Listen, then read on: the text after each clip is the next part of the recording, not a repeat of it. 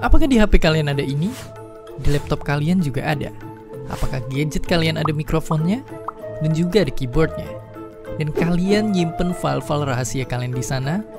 Hati-hati. Tiap 39 detik sekali ada orang yang terkena hack.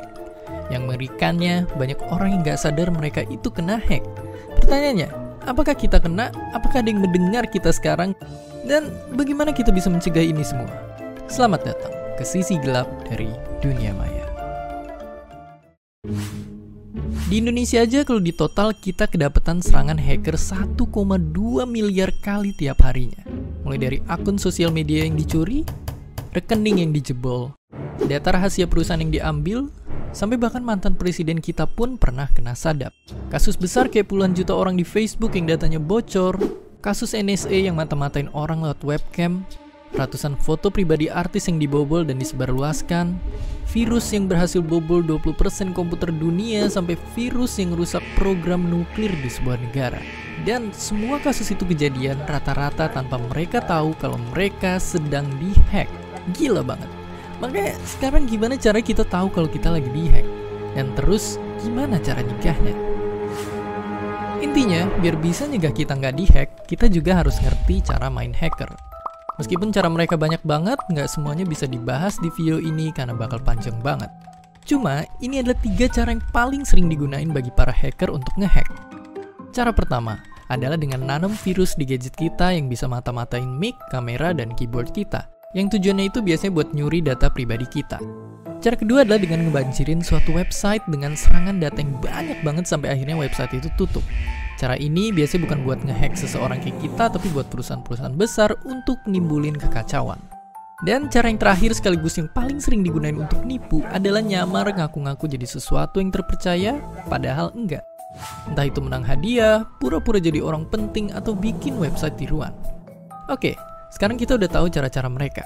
Tapi terus gimana caranya buat nyegah itu semua? Singkatnya banget, sama halnya kayak nyetir atau nyebrang di jalanan, kuncinya itu selalu waspada. Lihat kiri kanan. Apa pun yang kita klik atau apa pun yang kita buka atau apa pun pesan yang kita dapetin, selalu waspada dengan cara ngelakuin hal-hal simple ini. Misalnya pas lagi browsing internet, jangan gampang tergoda sama iklan-iklan yang suka muncul di mana-mana. Saat kita naik ojek online, pastiin kalau data abangnya sesuai sama aplikasi. Terus buat yang suka belanja online, saat ngelakuin transaksi perhatiin tokonya mencurigakan atau enggak. Website toko juga mesti diperhatiin aman apa enggak buat masukin datanya kita.